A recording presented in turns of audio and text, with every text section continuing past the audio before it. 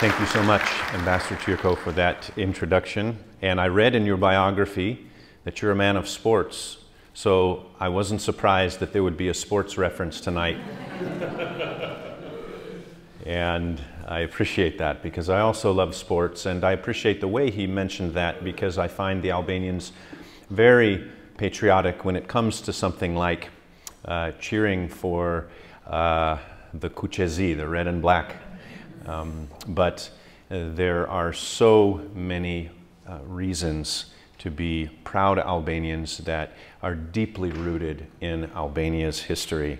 Uh, thank you, Kristale, for the introduction, and I so much appreciate your work uh, telling um, stories that are so important before um, discovering them is too late. And um, this is something that's very needed, and Albania still needs to have a kind of national closure for the, uh, the difficult years of, of communism. So this is incredibly important work. Thank you, uh, Meggie, for your organizing work. Uh, Meggie is uh, a friend of me and my family for many, many years, uh, all the way in the little village of Zonab in Tropoja and um, and now she's here, and I'm so uh, glad to see all that she does with her many talents to serve the Albanian community.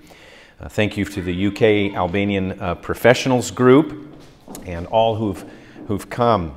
I have been assigned my topic, and that's often a good thing because there's so many topics that you could talk about. So when someone just gives you the topic and the title, the family that changed the course of a nation, it, uh, it makes things easier and then harder because you think about all the ways that this family did change the course of a nation. Um, I am, when people ask me who I am, I, I first uh, talk about how that I am a, uh, first and foremost, a, a believer. I, um, it's, it's really the core part of my identity as it was for Gerasim Qiriazi. And I, I, I, do also teach atheism in the European University of Tirana in the course of teaching uh, uh, the philosophy of religion to master students. And I give my students a disclaimer that um, I personally don't have enough faith to be an atheist. I find the arguments and the science uh, much more convincing to believe that there is um, an architect for such wonderful architecture. Um, and I find the historical fact of the resur resurrection compelling enough to make me a follower of Jesus.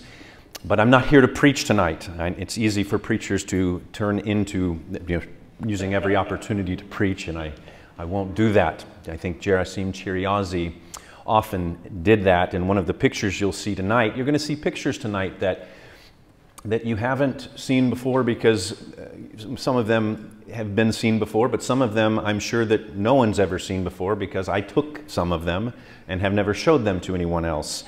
Uh, but you'll see a beautiful picture of Gerasim.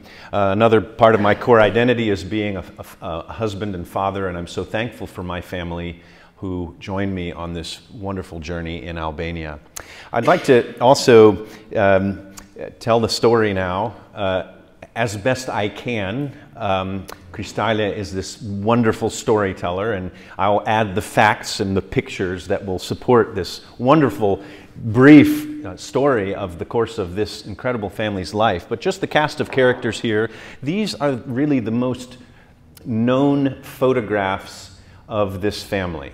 So if you might go to Wikipedia or something, you'll probably find these pictures. These are widely uh, distributed.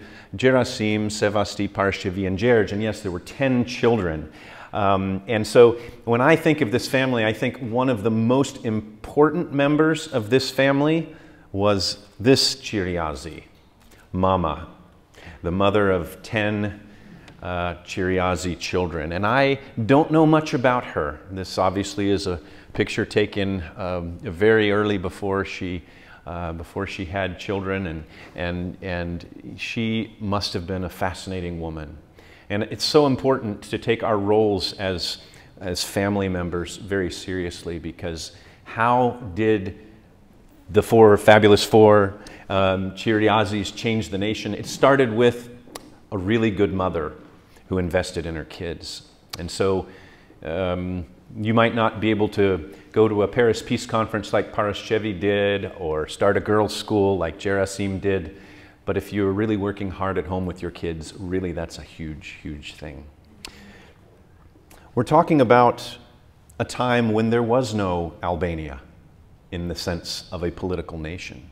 We're talking about a family, these children who were born before Albania was born in that sense in 1912 at our independence about 108 years ago. It was a time when it was Albanian territories um, were mixed in with many other ethnicities in this area known by many names. We know it now as the Balkans. It was once called the Near East. Um, and it's a place that many historians have said in the Balkans there's um, too much history and not enough geography. And so it's been the, the, the, place where many wars have, have started, unfortunately. And I think at the end of the Ottoman Empire, when the Ottoman Empire was weakening and receding more into its, uh, the present borders of, of Turkey, there were strong things historically going on. There were, there were events and uh, plays being made on the territory from the Balkan nations and from the great powers who had their own special interests in this beautiful part of the world. And so the Albanian territories were interesting. I think about the, con the context of the Qiriazis, infrastructure. This is a map that you can't really see all the details, but it was a map we found in 1824, which happens to be the year that the very first part of the Bible was translated into Albania. The British and Foreign Bible Society started interesting themselves in Albanian language in 1816. And then in 1824, the Gospel of Matthew was published. It, Albanian was not a published language at that time. Yes, there had been some things written.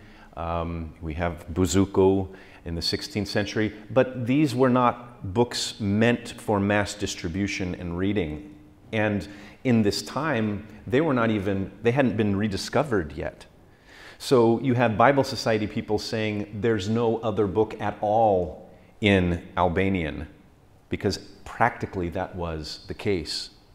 And so this map is produced in that same year, and right here, you can't see it, but there's a little there's a little key to the map. And all through this map, I'll zoom in in a moment, there are little roads, little dotted lines that indicate the kinds of roads. And in the entire map of Albania, which includes parts of today's, uh, you know, what, the borders of Greece and then up into, uh, into Montenegro, Kosovo, um, you have, and I've colored them in here, you have one main road, three cart roads, and 13 horse roads. And so that's the colors that you can see. And, and the main road isn't even in present day Albania. So you, you can see that if you only have a few roads like that, the infrastructure is, is, quite, is quite lacking. Then um, you have the, the area of religious life in Albania. We talk a lot about Albania's unique place in the world as having so many religions, and yet there's harmony among the Albanian people. It is really a model in the world, and many foreign, foreigners marvel at that. Uh, it's true that many Balkan countries, they have a common religion for the large percentage of their populations. In Albania, Orthodox, Catholic, Muslim, it was a mix. But those religions didn't function in Albanian territories in the native tongue. So if you would go to a mosque, you would hear Arabic or Old Ottoman. If you would go to a church, you'd hear Greek or Latin. You wouldn't hear your, with, with, with some exceptions, but not many, very few exceptions, you would only hear a different language. And some people would quip that God doesn't speak Albanian. In this photograph taken by Marubi, you've heard of the Marubi brothers, I'm, i forget exactly which Marubi took this, was never known until a few years ago when some friend of mine who works there says, I think I found a picture of Gerasim Qiriazi. It's a fantastic photo. I love the photo. It's him with his Bible in his Albanian costume pointing to heaven. directing the attention of his people. It's his Albanian Bible.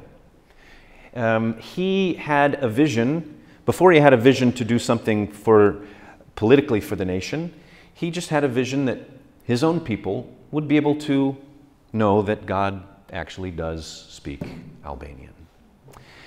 Um, this is a map of the American Board.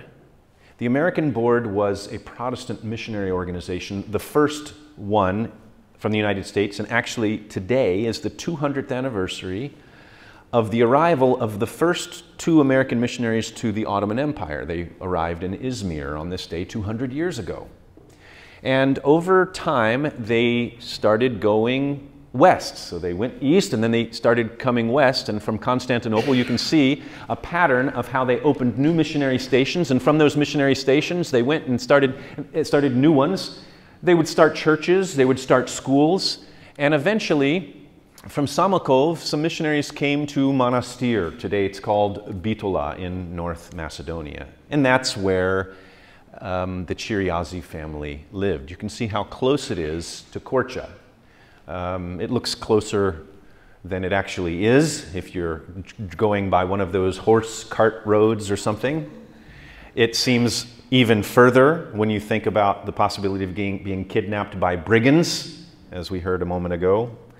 But that's where Gerasim and the whole Qiriazi family had their first context, contacts with evangelical Protestant missionaries. In fact, the family, the Jenny family that went to Monastir to start a church and school, rented a home that happened to be sharing a courtyard with the Qiriazi family, and they heard little Sevasti crying one day because she was sick, and they said, What's wrong with the girl? And they gave her some medicine, she survived, and after that, the parents allowed Gerasim to go to their school.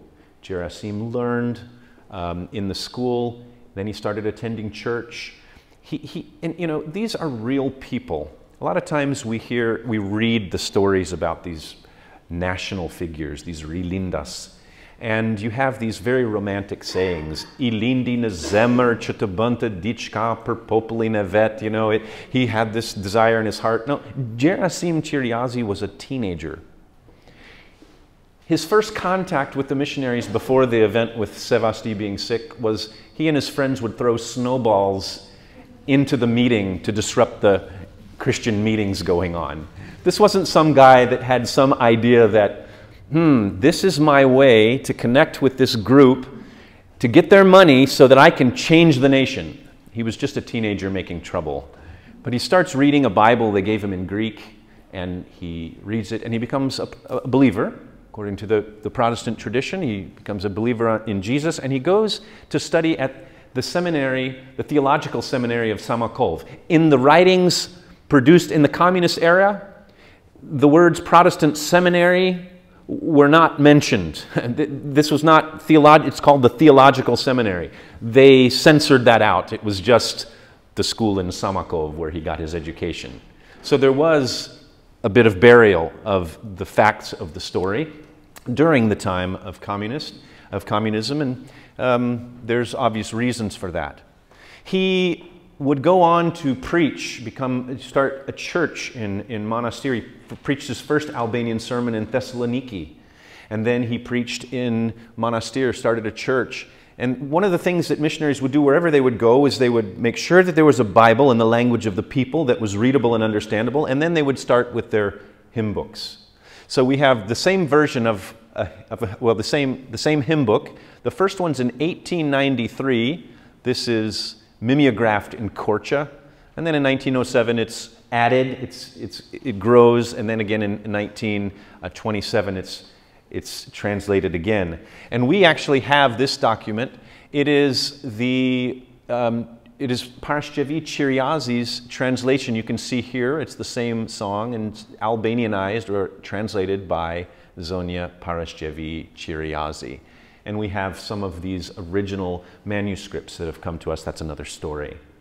Uh, one of the key people in this movement, I think personally, the foreigner that had the greatest impact on the Albanian national awakening is Alexander Thomson. He's from Scotland, and he is assigned to be the director of the British and Foreign Bible Society for all of the Ottoman Empire. And he makes a visit to Albania and he comes back and says, I see Scotland in these hills.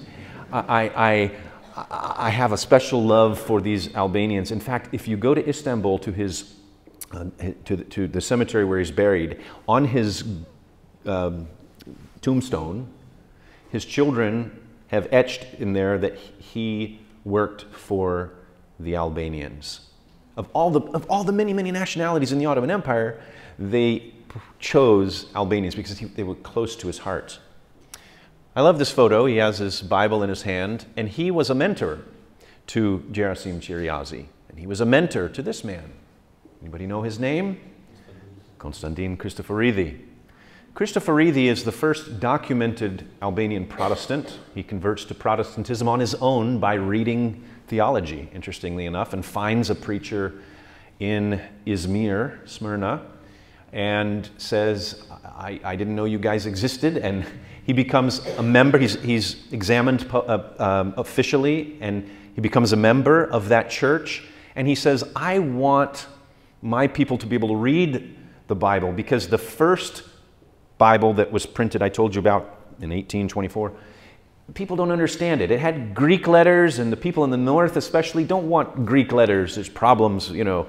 And so uh, let's, let's make it a, an Albanian language, and you'll see a picture of, of what it looked like, the Albanian letters that Kristoforidhi um, did. He, is called today the father of the Albanian language because when he translated, he made Bible translations in Toskarisht and Gegnisht, the two dialects of Albania. And this actually is so interesting because if you see these texts, on the back of them, they advertise the Bibles and other books that they were printing in the opposite dialect. So if you have a Geg Bible or children's storybook, Bible storybook, on the back you have, hey, you can get a Tosk version. And as you look at, the, as you look at them, you say, you know what, even though we're north and they're south, um, the languages aren't so, the dialects aren't so different. Because I told you earlier that Albanians didn't they didn't find a national identity through religion. The Albanians found unity through the Albanian language. Shqipja e bën Shqiptarin. The Albanian language makes an Albanian. And so he is rightfully called the father of the Albanian language. But Thomson really wanted him to be more of a preacher than he was. And he wasn't. And so when he found Gerasim, he found someone who was already to be a preacher, and so he also worked with Gerasim.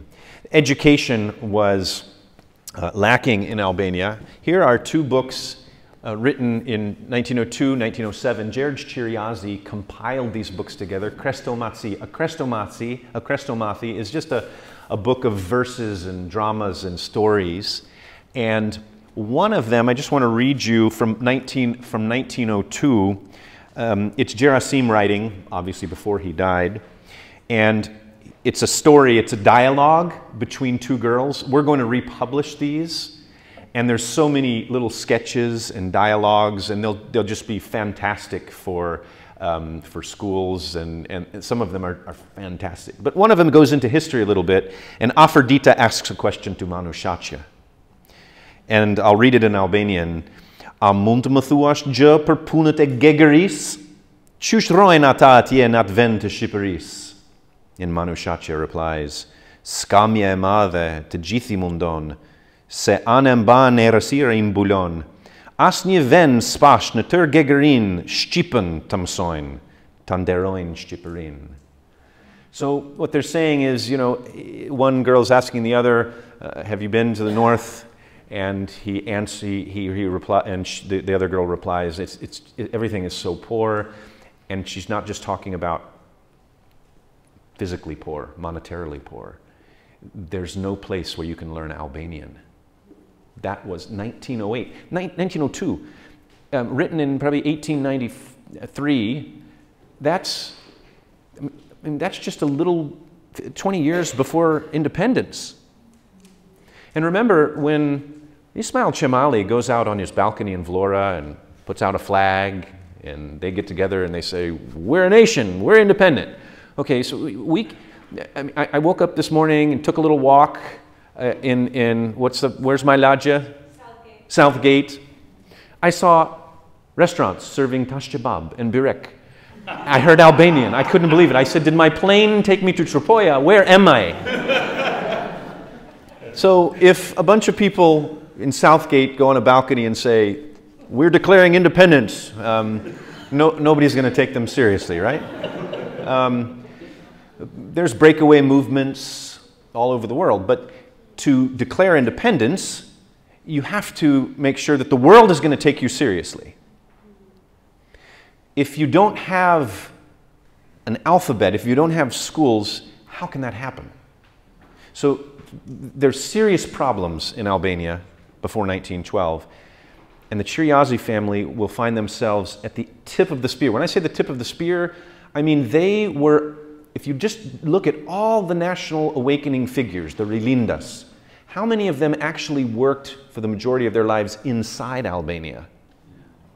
Many of them were supporting it from the outside, and that was important. But they were on the inside. And they chose that. So, I want to show you a little bit about what the Bible Society did. They didn't just print a Bible so people could put it in the dashboard of their car. Nobody had cars, but dashboard of their carots. Um, and drive around as using the Bible as a, as a religious luck charm, Haimali. they wanted people to read it. So this photograph, which we've colored, all right, just because we can and it's fun, um, and it, it, it's a photo from 1892. Um, this man is George Qiriazi. Isn't that great? Like the Beatles must have gotten their inspiration from George. George Qiriazi, also taken by the, the, the Marubi brothers. and here is another photo of the Bible Depot. Now, if, if you've been to Shkodra, right across from the Turizmi, the big hotel, there's a, it's called the Sahati i Inglizit, the Britishman's watchtower, the Englishman's watchtower. It's really, for me, and since I have you here, it's it's the only monument to British uh, Albanian relations as far as a physical monument. Edith, Edith Durham and, and so many of, the, of, the, of the, these, these British citizens who took interest in Albania, that was a center for them, and Lord Paget was among them. He let the Bible Society use that. And this is just an example of one of the many book depots the Bibles were in many languages because there were many different people in the, in the area. Here you have George Qiriazi. There's a map of, you know, you can see the map of the Balkan Peninsula here. This is a calendar, and there's, it's a dual language calendar, so with the Ottoman calendar and the Western calendar. Back here, this is one of the book machines where they press down the books. Um, he's reading, a, this is John Siko, and he's reading a Bulgarian evangelical magazine called the Zornica. And the Zornica means morning star. And you might think Uli Imanjesit, which we'll hear a little bit about in a moment. Um, so, the, and, and then they had tables of books and they had seating. And what these Bible Society depots were not only warehouses, but people would come in and they would have religious discussions and they would talk to people about issues of faith. And Sevasti writes that when she was a little girl, she says, I remember well how often I puffed up like, puffed up like a peacock when I entered the big room full of bookshelves. And she goes on in this incredible quote, and she's saying that I could brag to my friends that we Albanians too could say that we have books. I mean, can you imagine a little girl, a little Albanian girl saying that today? Like, really, it's no big deal. I can brag that I have an iPhone. But books? This was the condition that they lived in, and no girl had ever completed high school. No Albanian girl had ever completed high school. And she actually went to university. She went to the Protestant Women's College in Istanbul. Skutari, it's called. It's not Shkodra, it's the Skutari, Skudari, Uskudar of, of, of Istanbul. And she went there and, and she took her little Bible with her. It's a psalm book, a book of the Psalms. This is the, this is the letters of Kristoforidhi. It looks nothing like we could read today, really, but you might be able to recognize this Psalm 23 The Lord is my shepherd, I shall not want. And, and, and, and this book is in the National Library of Albania. It's still preserved today. We found it and we realized it was Sevasti's copy, and she would make notes in the side of her little Bible. This one says, Ngushalime deshpres tamave, great comfort and hope. So she was reading these books, and more and more Albanians were starting to read. Here she is with her graduating class of six. She's seated in the middle with the flowers. Sevasti Qiriazi. And just before she graduates, her brother is captured by brigands. This is this wonderful photograph of these brigands and Shahin Matraku, who was honored as a hero. Well, he, he's actually taking Gerasim Qiriazi captured, captured for money, and that's an incredible story. I won't go, go, go into it all. There's a book written, Captured by Brigands. But it's a moment that Gerasim, in this 168 day ordeal, instead of being bitter, instead of uh, being angry, he has a lot of time to think, and he's thinking, how can we solve this problem? That because this wasn't just a group of eight that everybody was worried about. It wasn't just a isolated case of, you know, some family that was, there was, this was a problem all over, the, all over Albania, North Macedonia. And so he's like, let's come up with a solution. And he says, you know what? I've seen these girls' schools being opened by the missionaries. What if we started girls' schools for Albanians? So that the mothers could be educated to train up their children in a different way. This is the solution to brigandry that Gerasim says we need to do it. And so he, with his sister, recently graduated. They start um, the first ever school for girls. And it, it's, it's such a taboo for a girl to go to school. They started with just a few students because no, nobody would come. It was a, it was a, you know, it, it, was, it was a terrible thing and, and they would be mocked. One of the first students was this little girl here, and you might more know her as Paraskevi Qiriazi. I like taking, showing pictures of people in different stages of their life. All three pictures are, this is Sevastia. We're not sure, who this brother is. That's Parashqevia. Here she is in her kind of, her moments of working in the Paris Peace Conference. And then she is, as the final delegate who was at the Congress of Monastir, and Nexhmije Hoxha introduced her in 1958. And she came up, Nejmia said, I want the only living delegate of the Congress of Monastir to come forward and to sing one more time the song that you children sang so beautifully a, a, a little while ago. And her, um, her niece has told me, I have it on video, that everyone was weeping when they heard her singing this song. That's how important it was. Well, Parashqevi would go on, and in 1904, she graduated from the same college in Istanbul, and for many years they worked in this school. Here's one of the many photos we have of the staff. This is Sevastia and her husband, Kristo Dako. And this is Parashqevi. This is the Kennedy family. Uh, no relation to the famous American Kennedys, but they came from uh, the United States he actually studied under a man named Woodrow Wilson, who would do a lot for Albania. And some people think that that might be some kind of a connection that led Wilson to uh, intercede for the Albanian uh, people. And this school closed, was finally closed when all of the schools were closed in Albania, but it reopened in Kamza. And uh, it became known by presidents and prime ministers and foreign leaders as um, the um, as, as, as the cradle, a, a diepi culturis, a folle comptara, a national nest. If we go back to a congress called the Congress of Monastir, I just want to tell you more about the impact of this family. And we're going to talk about George a little bit. Um, this is George Qiriazi in this great group of people, some of the hundreds of delegates who came to the Congress of Monastir. And for those of you who don't know what this was, in 1908, people had started to publish. They had realized that without having our language written down, our push for autonomy, our push for independence, if it ever comes to that, will not be taken seriously.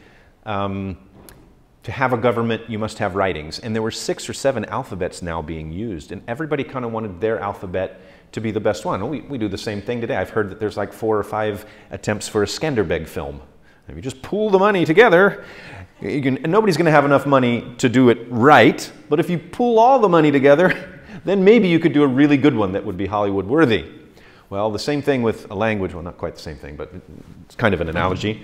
Um, there, was, there were six um, alphabets being used. And how can they have schools? How can they have something like a constitution without getting together and saying, let's choose one? And from, eight, from the year 1901, that's seven years before the Congress, we have indications that George Qiriazi is promoting this. And then we have a very clear article that he writes in a book in, in a newspaper in 1905, and here's another great photograph of George, a little bit older. And he writes in the Albania, and I won't read the entire thing, but he, he says, Look, I have many books that are ready to go to press. And I can put them in, press, uh, in print, but I'm not going to. I'm going to wait until we can so solve this once and for all. And this is a sacrifice for me because publishing a book was important. I mean, it was hard to make money and it was a way to make money. And, but he says we must come together and he, he gives this beautiful, you can find it in my book if you want the full quote. He gives a beautiful apologetic for coming together to do it, and he actually becomes the organizer. I have here the most recent work by Xhevat Lloshi, who is an incredible Albanian linguist. Um, He's in his 80s and still going strong. And he's just finished a two volume work on George Qiriazi, full of documents. So, look, I mean, these are full of original documents that he's translated. This is the kind of material, the kind of volume of material that we're uncovering. And people talk in Albania a lot. There's a debate about should we rewrite history. And we're just saying just reread what's already there. That's important to start. It's Xhevat Lloshi's opinion that after all of the documentation that it was George Qiriazi who made this conference. Without him, it would not have been done. He worked behind the scenes. He didn't want the spotlight, but he was the one who did all of the work for so many times in Monastir. Somebody says, why did, why did, why did, why did they choose Monastir? Well, um, it was such an important city, and who would, who would come to London, or who, how could they all come? So it was the most practical way for all the Albanians to come together. And the, the small commission, you've heard of the, you know, the, the commission of, of 11 who met together, they met in George Qiriazi's house. And they locked themselves together in a room. This smaller group was chosen by the big group of delegates to say, all right, we want you 11 to go in, fight it out. um, as amicably as you can and come up with one solution. And oh, by the way, we always talk about 11, but there was one other person in that room with them, and her official role was to serve the coffee. But she did a lot more than that, I can promise you that. Parashqevi was there, and she was a crackerjack. she was fireball, and she had strong opinions about what should be done. And they finally did choose the alphabet. Right away, the Young Turk Party began to um, fight against the language that they chose. So there was a verse in the song that you sang. It talks about, we don't want those other letters. We've got our own letters. Because they attempted to get, they actually paid a lot of villagers to come together to say, no, we want, um, we want Arabic script. And they had to sign their names. They had no idea how to sign their names, many of them. They had no idea what they were, they just knew they were being paid. So that's when she writes in this, actually, in this document that I've just kind of put as a background, but I have the whole thing. She says, When they did that, I was so angry that I wrote.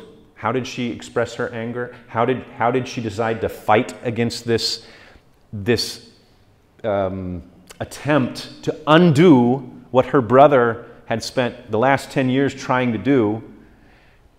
And all of the Albanians had worked together and finally come to, you know, it's hard for Albanians to agree on something, but they finally did. And so she's, how does she fight? She fights by writing a song. I mean, what? So she writes a song.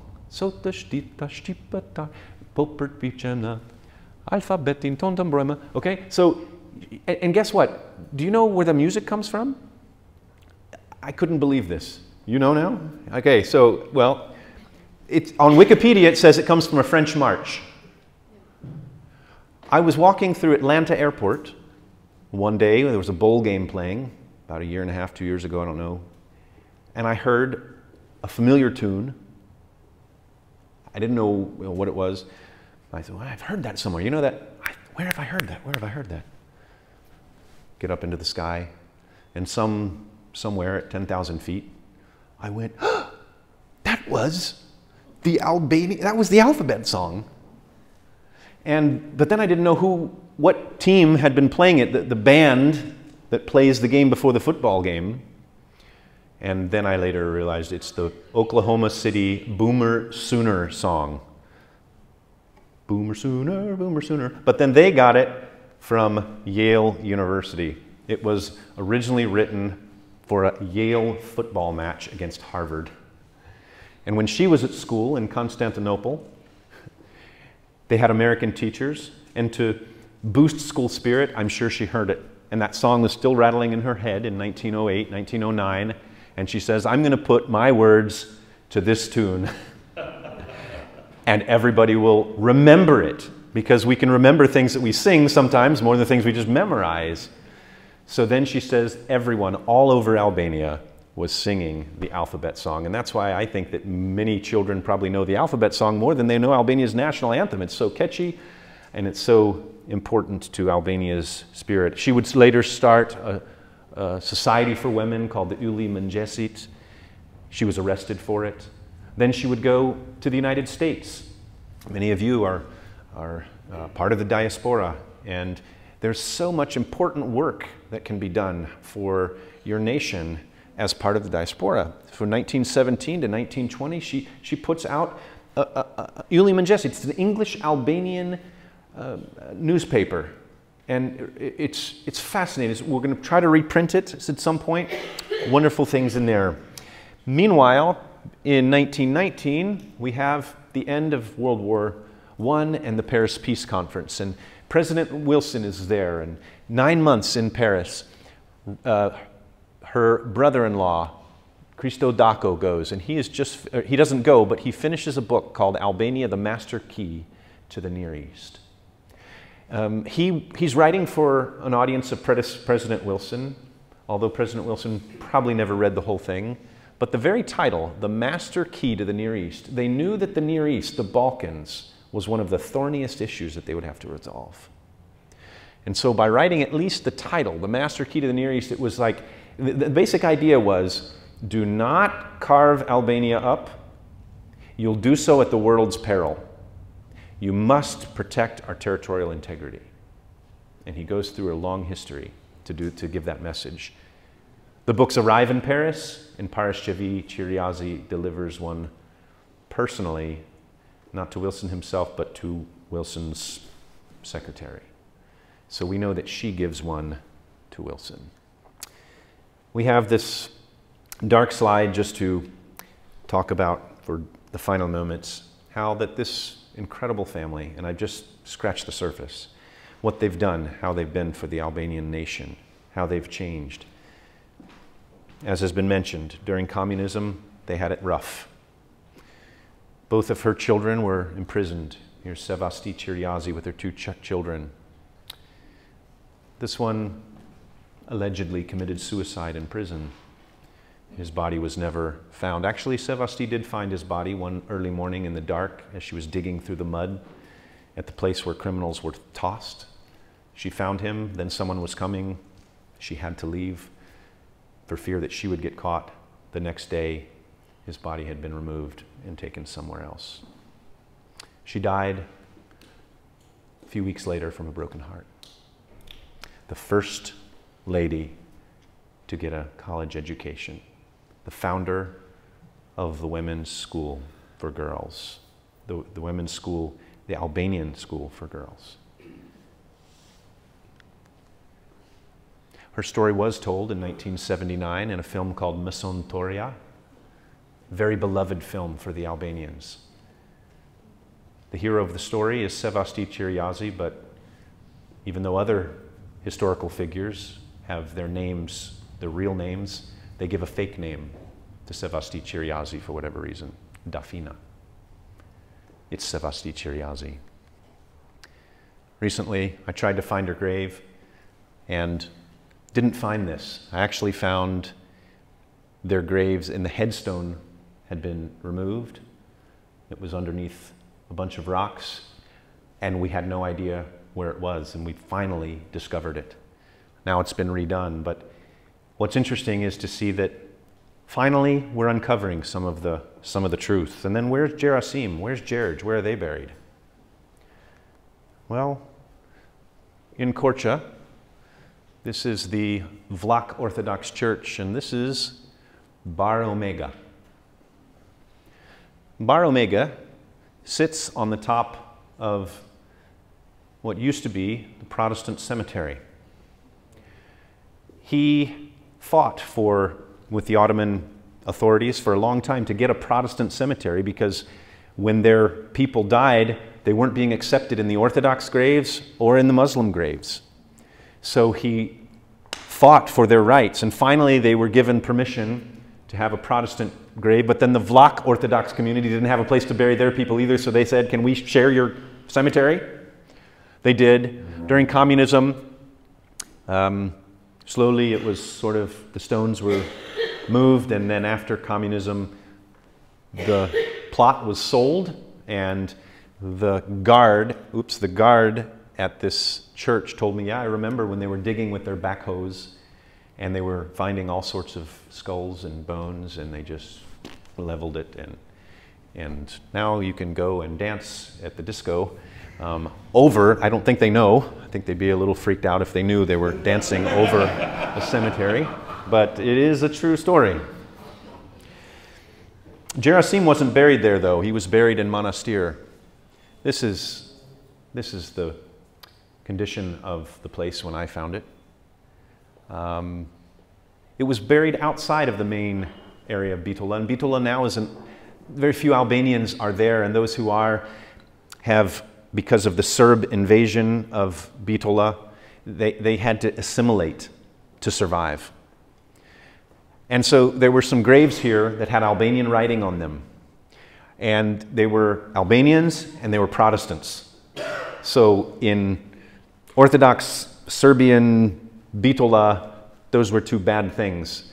So over the years, who knows what happened, but the Methodist Church from Strumica told me one day, about a year ago, we found them. We found them in a terrible condition, and we have rescued them. And now, nobody has seen this except the people in Strumica that didn't even know Albanian. They have gathered all the bones they could find which were all mixed together in a mess, and they just put them in one mass grave and put the headstones of uh, the remaining pieces of the headstones back together. And so this is Gerasim's headstone. The pieces of it that are left, at least. Ktu chlodhet ipari lechitas ishiperis. Here rests the first preacher of Albania. Gerasim Qiriazi, the date of his birth and death, and a Bible verse that reads, The blood of Jesus Christ cleanses us from all sin. This is a great moment in Albanian historiography to put the pieces back together and to learn again that even though things might almost be lost forever, they're not actually lost forever. And there's so many stories that encourage us and inspire us and inspire us to do more for our nation, to do more for our neighbor, even if it means that we sacrifice like the Albanian Qiriazi family did. Thank you so much for your attention. It was a pleasure to share these stories.